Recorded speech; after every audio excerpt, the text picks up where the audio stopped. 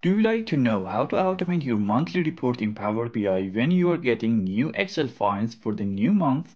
Watch this video to learn how to tackle it.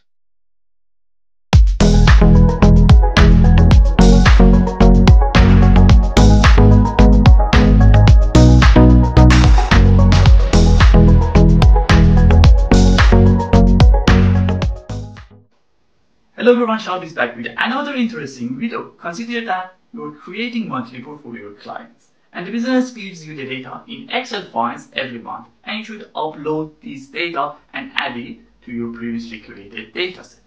Today I will show you how you can automate this process. If it's the first time you're watching my videos, don't forget to hit the subscribe button to get the notification for the new upcoming videos. Stay tuned.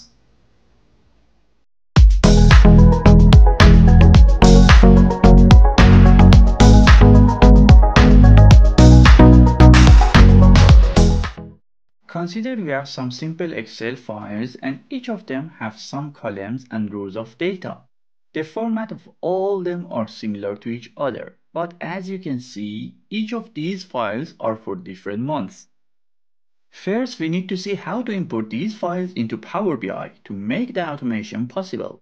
To achieve this aim, we need to keep all files in a folder.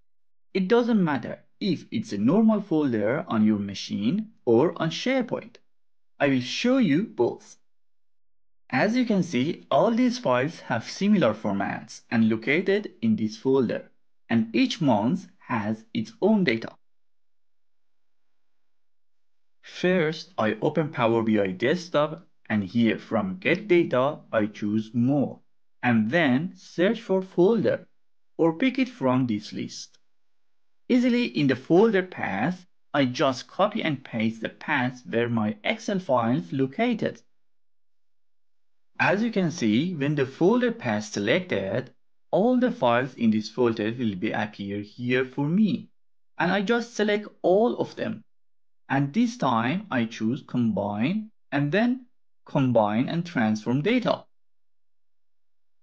Then I choose this sheet 1 Please make sure that the names of sheets on all Excel files are the same. Otherwise, it's possible that you get error. Then I press on OK and wait for some seconds to open the Power Query Editor window.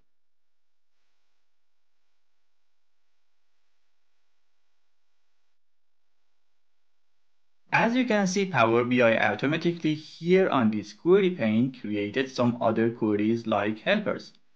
And the query we need is this one. And you can see here on the table, all the files combined and we can see all the data for them. The only thing I have to do is apply some steps to edit the table. Here I click on the source name column and click on replace value. I don't want to see the monthly report in the name. So I write monthly report in the value to find field and I won't fill anything in the replace with field and press on OK. I also don't like to see the .xlsx at the end of the string and I just replace the value with an empty string. Next, I change the column type to date and then change the column name to report months.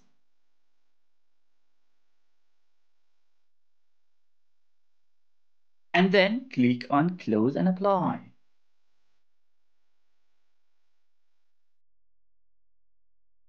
Now we have all the data we need in the dataset. When next month's data is ready, we need to only add the file in the folder and refresh the report.